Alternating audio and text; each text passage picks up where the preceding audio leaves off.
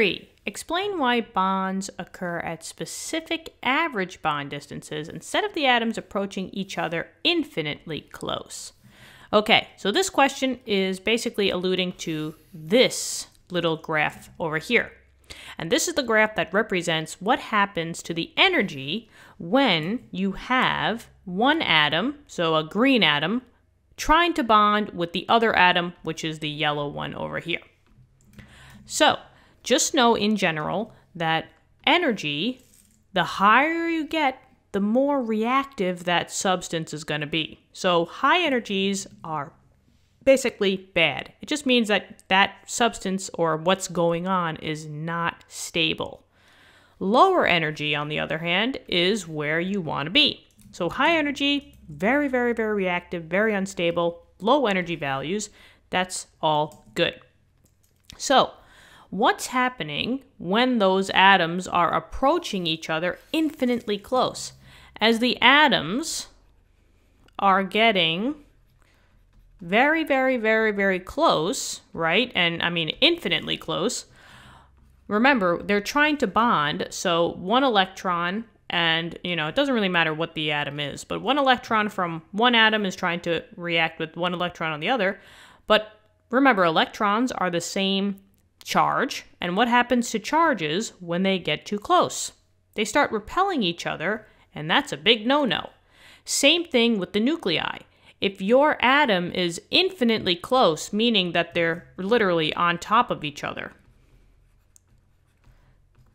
your nuclei are is also going to repel. So as your atoms are getting close, the positive nucleus, because remember, a nucleus is positive. The electrons are on the outermost side of the, um, the orbitals outside the nucleus. So the positive nucleus of the atoms will repel.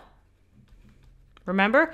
Because um, same charges always repel each other. Like if you try to put two of the same sides of a magnet together, they will try not to uh, go together. They will try to repel each other.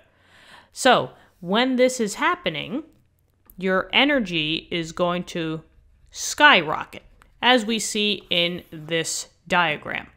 So explain why the bonds occur at specific average bond distances instead of the atoms approaching each other infinitely close, because when they get close, those positive nuclei of the atoms will start to repel because they're both positive. Same charges repel each other, and that jacks the energy all the way up. So we need that specific average bond distance between the two nuclei. And if this is the case, the nuclei do not repel each other. You're at a safe distance apart, so they don't react with each other. The nuclei do not repel each other. And that's basically it. If you want a breakdown of this drawing and seeing me draw this actual lovely diagram, you could always check out uh, question number 2A in this playlist. Uh, that's where I actually draw this uh, little diagram out for you and I explain everything that's going on there. But we basically answered this question here. I hope this helped. Thank you for viewing the video. We're almost at 30,000 subscribers at the moment, and I would love for you to help us out. Uh, if you wouldn't mind pressing the subscribe button, it would mean the best and the most to my brother and I. Thank you so much, and thanks for being part of this awesome community. Hope you're doing well out there, and I'll talk to you soon. Bye bye.